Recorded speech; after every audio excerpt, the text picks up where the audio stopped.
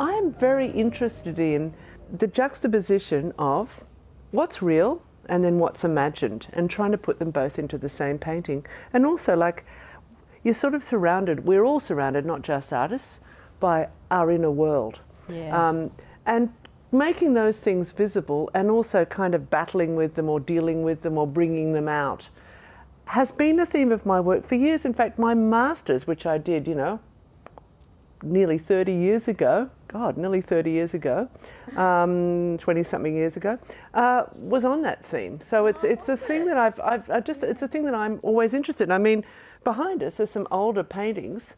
And actually, um, even though these are old ones, because obviously all this other work is in King Street Gallery in Sydney right now, you know, some of these are about that. I mean, there is a ghost painting, but this one is a painting from a few years ago called Night Magic.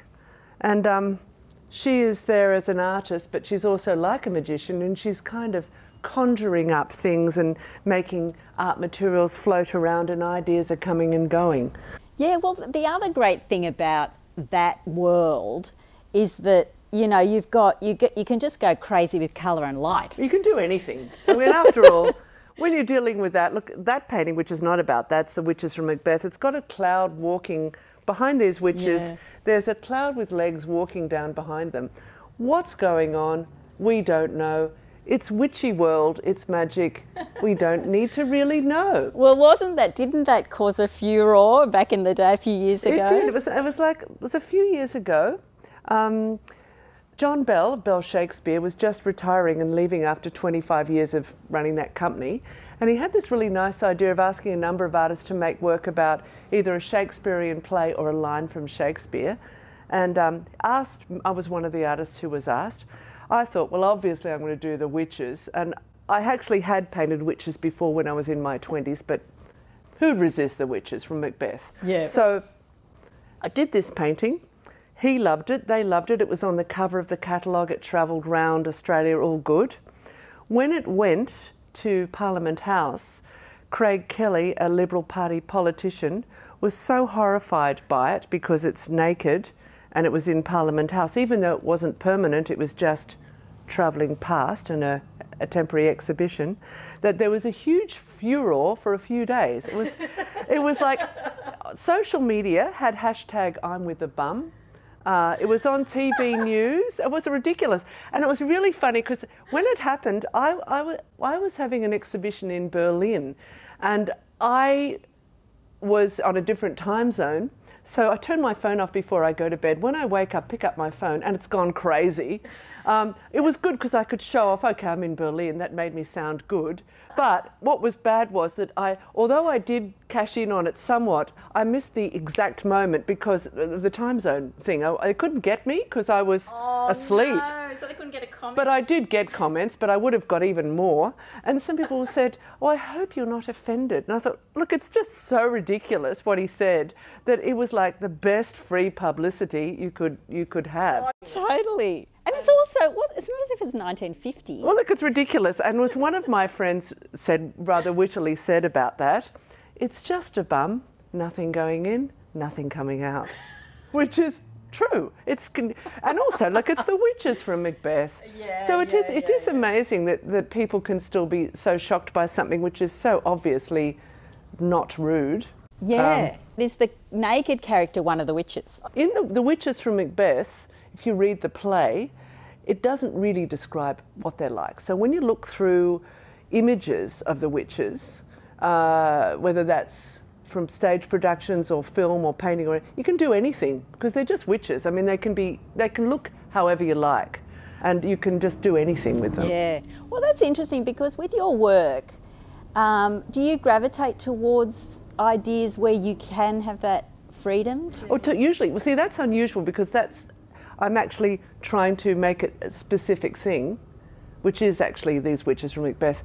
Nothing else. Everything else is my own imagined thing. Yeah, um, yeah. What was nice about that is it's totally open what you do with it, um, whereas everything else is from me. So um, I can I can have anything going on any way I like and create my own world, which can make sense in its own strange way. Yeah. Well, actually, one of the works that I particularly liked in the show is called Fluid Time. And because I feel as though that really portrays your confidence and fearlessness as a painter. I mean, because there are so many elements to it which one would think would ordinarily compete with each other, but they end up working together. Yes, and thanks, Maria. And that's and that's that is definitely something that I like to do. And if you look at, say, the paintings in this exhibition, Magic, you can see a lot where I've done just what you're talking about with taking disparate things that don't usually relate together and getting them to work. I think if you can get things that, like for example, in some paintings, like there's a painting called Walking Home of me carrying a big doll-like version of myself. Mm. There is crazy. There's two characters of me and the doll, but then there is also a bit of glowing colour, which is in spray paint. There's a reasonably realistic little bit of a streetscape. There is all these things which are all quite different languages and look a bit like different things.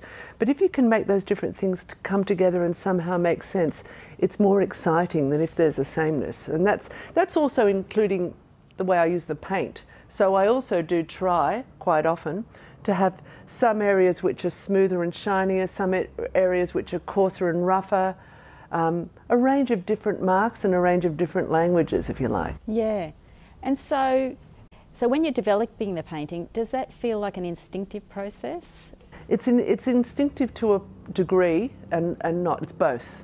So sometimes I will have said, you know, for example, um, there's one called The Wheel of Fortune, which is, um, there's one with paper dolls, and there's a woman looking into the distance, and there's, I, I wanted to include some areas with soft, blurry, amorphous, it's actually spray paint, but you wouldn't know really what it was, cloudy sort of softness, and then some areas which are quite realistic and quite clear. I knew I wanted to do that, but you still let it evolve. Things paintings always evolve and you never really know. I think I always think you need to have some idea, but not complete idea. If I knew exactly what it looked like, I wouldn't want to paint it. Yeah. And you were talking about uh, the the painting Walking Home, which I love because I saw it in the Portia Geach actually exhibition. It was a finalist in that oh, in that competition, and um, I noticed that it it deals with a theme which you've painted before. Yes. In particular, your Sulman Prize painting, Erskineville train station, also deals with that idea of yes. walking yes, right. to you're the studio right. from the studio. No, quite right. So, where we are in this fantastically huge studio that I'm so lucky to be in, big warehouse, is about 25 minutes to half an hour walk from my house. And um, I do that every day, walking back and forth. And it is a time when you're it's sort of a liminal in between time between being at home and then being here when you're thinking about what you're going to do. And because I walk it all the time and I'm down back streets, I'm sort of on automatic pilot. Yeah. Um, and it is, it, it, it, it's again what I was talking about, I guess, is you're doing something, you might be thinking about something quite banal, like I think I need to buy some more milk before I go home. but you also can sort of go into a dream world where, you, where you're fantasizing about something that you should be painting or about to do or something. And uh, I do love, as I said, the real and the unreal in one in one work, and um, and also different marks, which is different paint marks and different surfaces, which is what I, I try to do. Yeah. That's interesting about saying that ideas come to you in the in that time. Mm. You know, I find that ideas come to me in the shower. Mm. Do you have?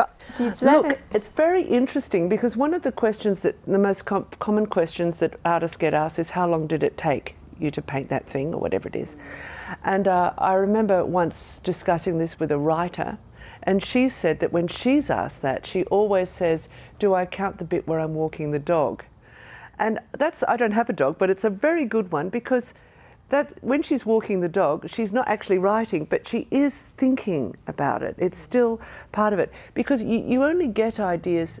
You don't get ideas out of nowhere. You only get ideas if it's going on in your head anyway. Usually when you're actually drawing, which is where I'm sitting over here drawing, and I'm thinking I'd like to do this. Does it look like this? Does it look like that? So I'm doing actual. It's really quite scribbly, like actually. I know what I can show you. It's actually quite scribbly. I just remembered that I've got a sketchbook which has got things like carrying the doll, oh, wow. things like that, you know. So I have. Oh, so that is. This is actually this is thinking drawings. These are not a beautiful look how beautifully I can draw drawing.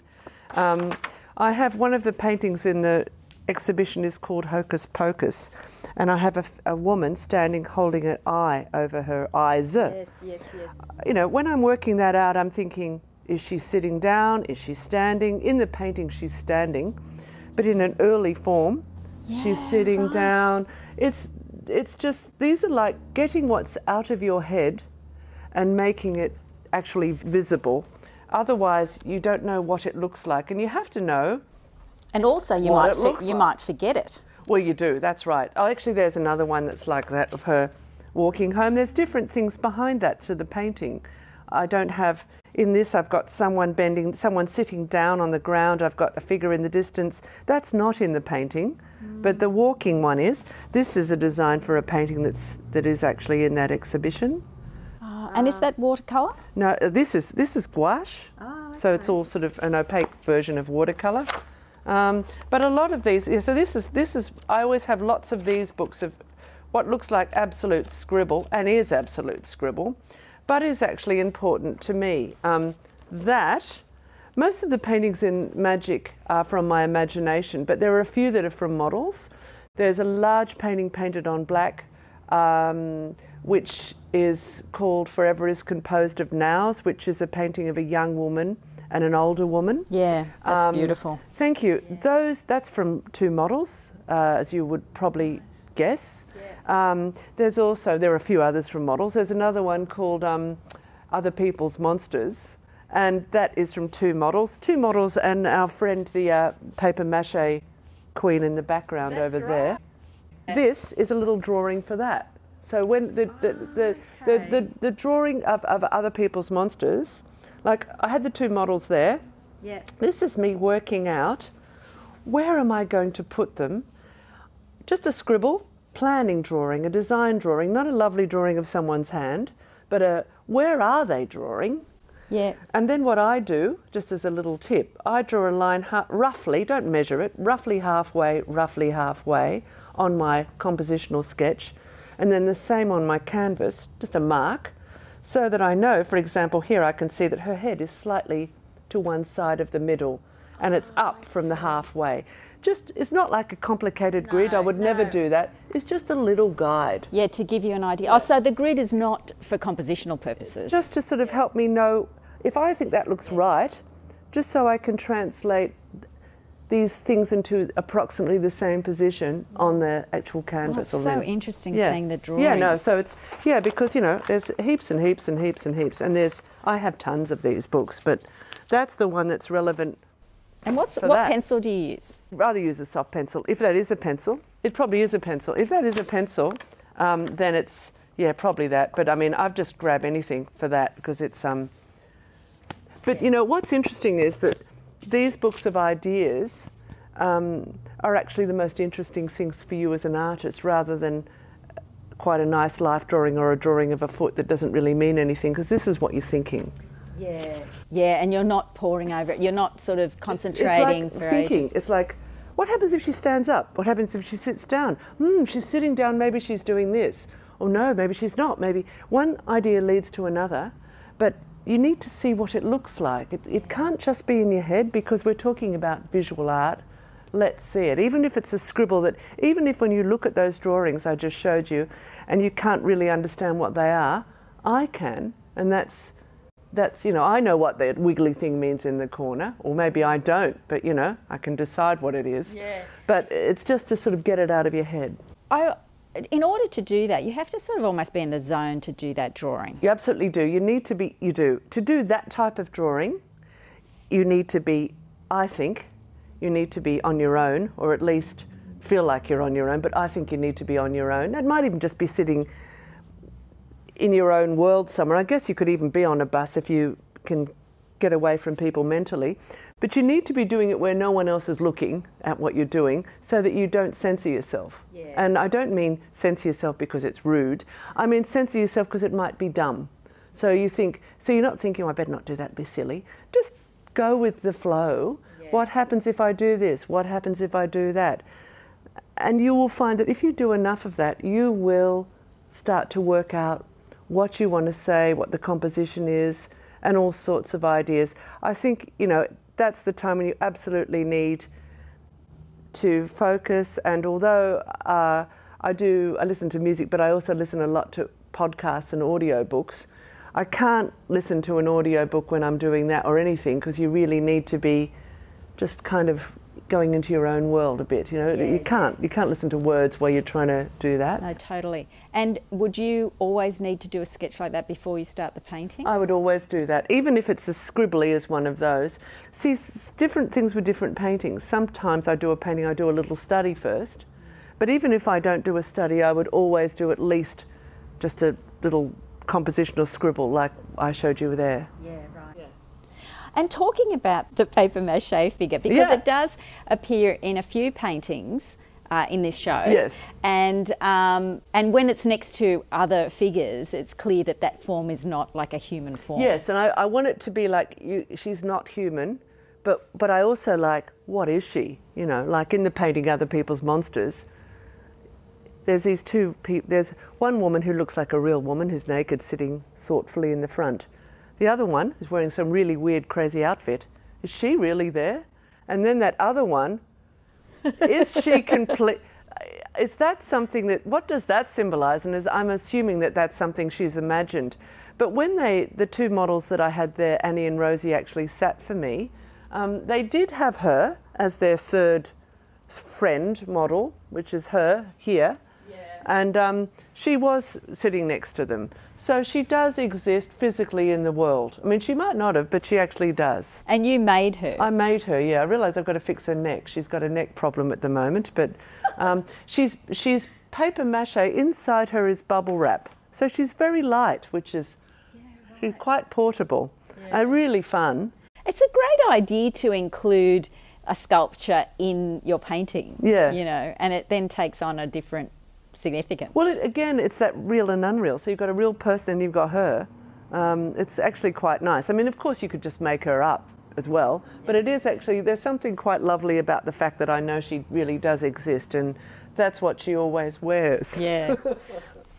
and I, I just love that wall of small paintings that are in King Street Gallery right now. And they're in these amazingly unusual frames, which I understand you found in flea markets in Paris. Yes, they are mostly from there. I mean, that because I do usually live in Paris part of each year, and I love flea markets, I am there all the time looking for frames, and that's where most of them come from. Some are from elsewhere, different places, but that's predominant. And um, I love the fact that a lot of them are about 100 years old or more, and you just think, what? Sometimes there was an old photo in, which is really, you feel sort of bad taking it out. Um, or you think, what was in that frame? What was there? Was that on someone's mantelpiece? Was it wallpaper behind? Who owned it? You know, what was next to it? They're, they're so um, rich in history, but you don't know what it is. Uh, and, and I've painted little, like the li- little fragments of ideas in them. And all of the paintings actually in this show, including the little ones and the big ones, all of them are like a narrative, but they're totally open ended. So none of them are, an illustration of anything in particular. It's up to you to look at it and to work out what's going on.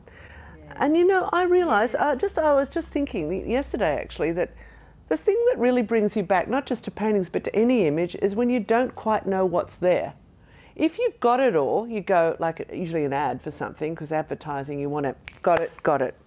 If it's you think, what's she thinking? Who are they? What's happening? Why is that? Whatever you're thinking like that, that keeps bringing you back because it's always tantalizing you as opposed to there it all is, got it. Yeah, exactly. No, and, th- and those are, those paintings do have that about them. They're amazing. Thank They're- you.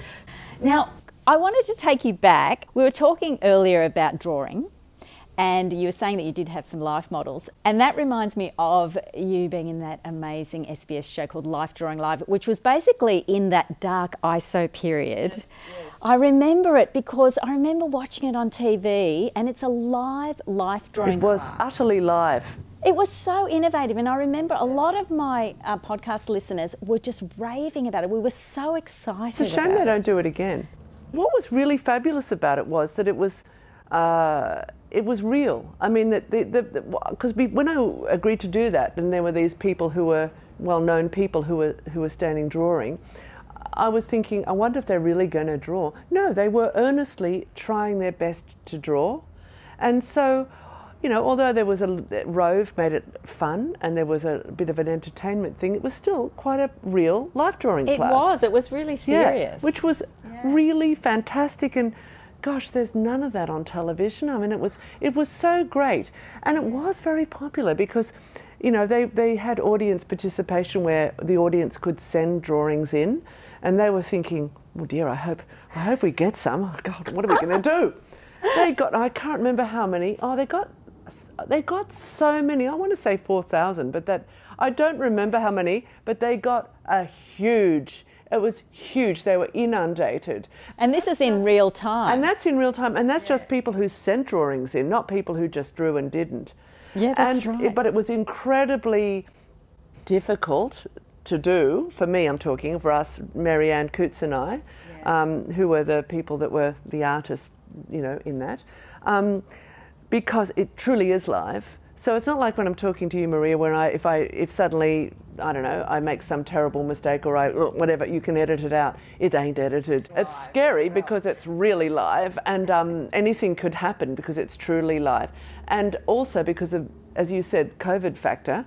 You couldn't go over to someone, and when you're talking to someone about life drawing, and they're looking at a model, you want to put your head very close to them so you can both see the same angle. Of course. Because if you're yeah. if they're down and you're up, it looks different. Yeah. But you can't go too near, so they have to go away and there's a, there's added difficulties It made it harder. But it was, you know, I think it was a great thing to do, and I do wish that there were more things like that on television. Yeah.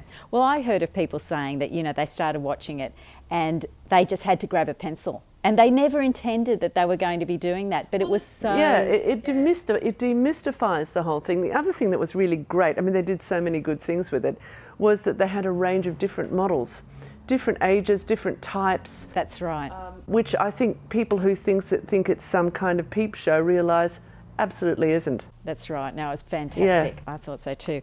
Now, also, congratulations on becoming a finalist in the Archibald. This is your seventh time, and of yes. course, you've been a winner, a previous yes. winner. And I loved that painting of Thank Magda Szubanski. I'm going to show you a little study for it because we're here in oh, ICANN. brilliant! I've got. I'm showing you.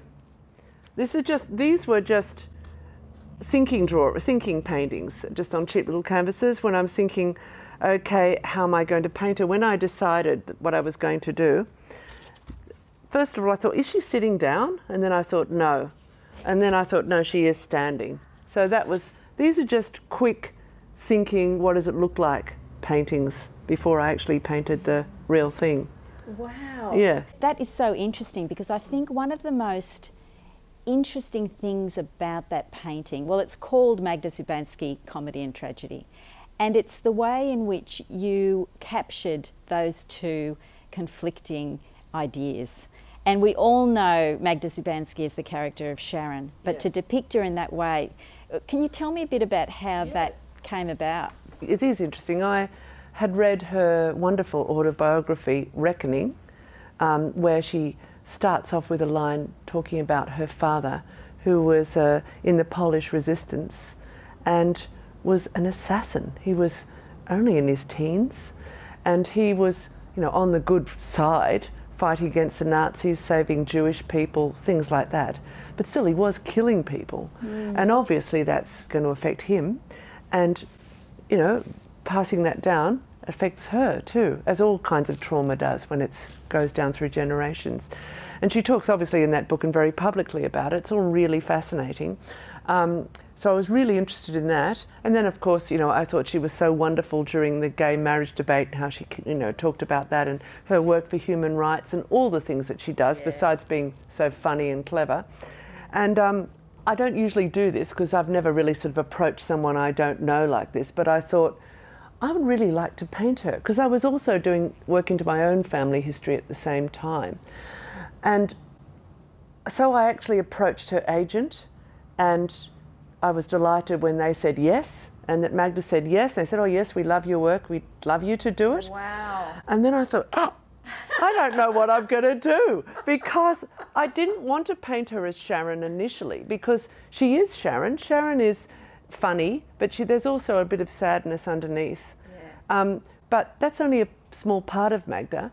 I wanted to make it more about Magda.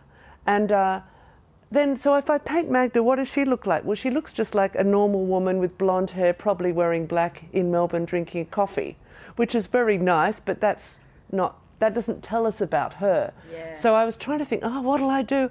All the ideas that I came up with were fairly corny, I didn't like them.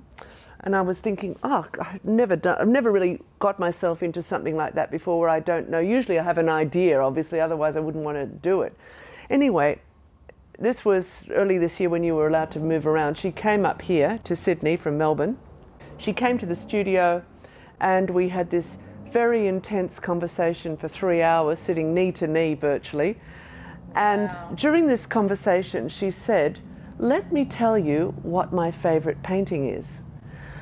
And her favourite painting is a painting by a 19th century Polish artist called Jan Matejko.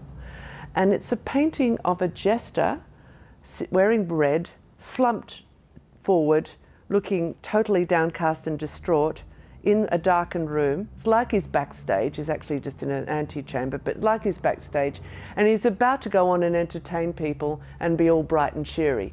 But he has just read this news about a Polish defeat in a war that was going on at the time. But he has to forget it and just go on as a comedian. Anyway, she said, That's me. That's me. And I thought, I know what I'm going to do. So I'm painting her as her famous comic creation, but I'm also painting all of that sort of trauma and all sorts of things that she's dealing with, but we're all dealing with behind her. Yes. So I was thinking of having her standing there as Sharon, kind of but staring at us and actually looking like she is genuinely shocked and haunted and about to burst into tears. And behind her is burning buildings that originally I was thinking is her father's Second World War, but I deliberately didn't make the buildings very specific. So, although I was thinking of that initially, it was also the bushfires that she'd just been raising money for. It's also all the human rights work that she's done. And although COVID hadn't actually kicked in, it's kind of that too, because it's really just about having to deal with, having to carry on and go about what you have to do with something terrible going on in the background, which all of us, all humans, have terrible times when you're in grief, you've just had a terrible breakup, you, something yeah, terrible yeah. has happened, and you still have to go on. on. But when you're in the public eye, much worse. Yeah. Totally. Um, and I think that's right. I think it's a human experience, yes. and that's what you've tapped into there. And I think that I think that's what it is that makes it so relatable. Well, also I made sure that again, what we were talking about with real and unreal, she's standing behind these, in front of these burning buildings, but I, I wanted to make it deliberately unclear whether these are real, whether it's a backdrop, or whether it's something she's imagined. But I knew that whatever it was, it's real enough to actually cast light on her. So it's doing, it's burning, yeah. but there's a bit of red, there's red light on her. So it's actually affecting her. It's not separate, mm. but we don't know whether it's real or not. It's an ambiguous space where she's in, uh, which is, you know, I mean, it's, it was an interesting, interesting. I wanted to do it like whenever I paint, whenever I do paint a portrait, I would never want to just do a straight likeness of someone because I'm just not interested. I want to say something more, and I want something that's challenging. And the challenge was that was can I paint this comic character and yet make her look genuinely haunted and sad and all of this? And can I then connect her very weirdly to all this burning buildings and stuff behind? Can you do these things and make them come together? But it was, but it is interesting that if Magda hadn't told me that, I wouldn't have come up with that idea. My painting doesn't look like the painting that she likes, but it certainly has a similar uh, concept. I could talk to you all day about what you've been up to in the last year because, you know, it includes that amazing mural in Newtown, the Women Empowerment mural, uh, your upcoming collaboration with novelist and poet Kate Forsyth, your travel to Ethiopia where you painted and raised money for the Catherine Hamlin Fistula Foundation, and that doesn't include your solo shows, your finalist paintings in so many competitions. Been busy. It's been busy. it has been. Do you feel it's important to you to have these projects to focus on, to have something on the boil, have something in the future? I don't know. I, look, I've always got so many things on at the same time. Uh, I seem to always have lots of things going on as you, in the background. They're like little boilers in the background. You come back and do a bit on that. Uh, look, I don't know, but I, I, I actually have, fingers crossed, the life that I've always wanted, I guess, where I'm doing all sorts of different things. They're all painting and drawing. It's all using the, the same sort of concepts in a way, but I'm not doing the same thing over and over again. So you know, so so say for example, working with a writer, I'm also working with uh, on a ballet, um, and I'm working on a cabaret. These things, they're all I'm painting on things, I'm making things, so they're all just painting and drawing, but they're in different ways, and mm. those sorts of collaborations are really fun. Um, and I'm also, you know, as you've mentioned, this huge mural. I'm going to be painting another big uh, wall paintings in um, Mosman Art Gallery later in the year. You know, it's really great to do these things as well as easel paintings, which I also love doing. Yeah, it's um, yeah. yeah. it's fantastic. I am very lucky. Oh, it's fantastic, and you know, it's just such a pleasure to be with you here in the studio and catch up. Thanks for your time, Wendy. Thank you, Maria. Thanks so much.